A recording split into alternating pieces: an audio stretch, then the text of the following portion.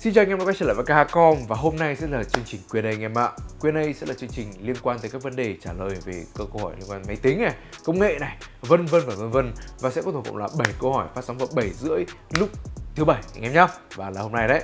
Thì hôm nay sẽ là chương trình uh, chương trình Q&A số thứ 49. Hãy bắt đầu cùng câu hỏi đầu tiên nào. Câu hỏi đầu tiên của bạn Tùng Nguyễn, bạn hỏi là NZXT 690 liệu cân được 13.900K F0? Cái này thì thực sự không cần phải nghĩ rồi. Đa số những chiếc Mainboard Z đều được tư vấn, đều được build để có thể cân được chiếc ít nhất là chiếc i9 ở mức xung là gọi là boost ở mức cơ bản còn chưa nói ép sung nhá, nhưng mà đa số các chiếc main Z đều có thể làm được như thế nha cái vấn đề là cái tản nhiệt nha nhưng mà cái chiếc main ờ, Z NZT này thì nó dựa vào một chiếc main board của Astrock mình không nhớ là chiếc nào, nhưng mà chiếc đấy cũng là thuộc tầm trung, thế nên là sẽ cân được với cả chiếc i9 thoải mái, không có gì cả. Câu hỏi thứ hai của bạn Fall Love, bạn hỏi là Asus B B760MA xài pin C1 cho laptop hả mọi người? Thì ờ, em, tất cả các em mainboard bây giờ ấy là xài pin C1 CR2032 em đấy là pin cơ bản rồi. Em đấy có thể tìm được ở trong một số cái điều khiển quạt này một số cái điều khiển điều hòa này và cả điều khiển cái uh, gọi là điều khiển ờ, remote của Honda. Đấy mình chỉ biết của Honda không biết là Yamaha hay gì có không. Nhưng mà đấy CR2032 nhá. Mấy em đấy là pin C1 cho trên máy của anh em.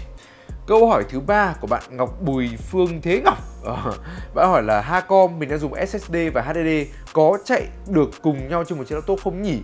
Thì tất nhiên là chạy được rồi, tất nhiên là chạy được nhá. Nhưng MacBook uh, ờ, cái SSD, cái laptop của bạn hỗ trợ không? bởi vì chúng ta sẽ có ví dụ như là um, những chiếc laptop cũ đâu thì sẽ có là một khe HDD hoặc là hai khe HDD à hai khe SATA đúng không? Hai khe SATA hoặc là một khe SATA và một khe đĩa. Thế nên là anh có thể ép cái carry bay vào để thành hai khe SATA hoặc là một NVMe một SATA hoặc là một M2 một SATA. Các thứ kiểu. Thì nếu mà cái máy tính laptop của bạn có hỗ trợ đủ số cổng thì kiểu gì cũng cắm được. Thôi. Nha. Rồi, tiếp theo của bạn uh, câu thứ tư của bạn Đỗ Đức Hoàng à Đức Đỗ Hoàng bạn hỏi là mình đang dùng một màn hình 27 inch Full HD, mua thêm màn hình 34 2K, suốt cả hai màn nó sẽ là Full HD hay 2K vậy.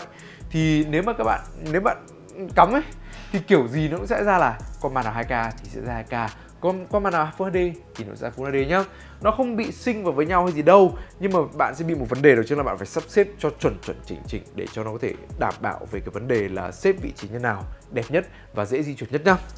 Rồi, Tiếp theo chúng ta sẽ có câu hỏi của bạn Tony An Bạn hỏi là main H610 có cân được 3060 hay không Hay là mua B660 cho chắc ăn Thì câu trả lời là B con H610 có bất kỳ con bên nào cũng có thể cắm được.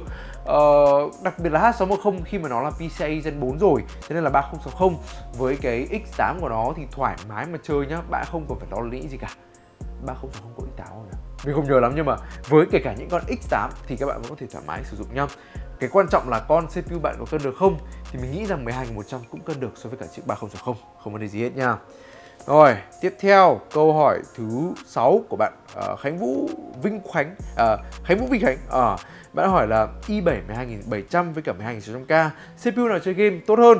Uh, edit video tốt hơn uh, và làm việc liên quan edit tốt hơn. Và nếu sử dụng thời gian là uh, nếu sử dụng trong thời gian là liên tục thì con CPU nào sẽ nóng và tốt nhất hơn?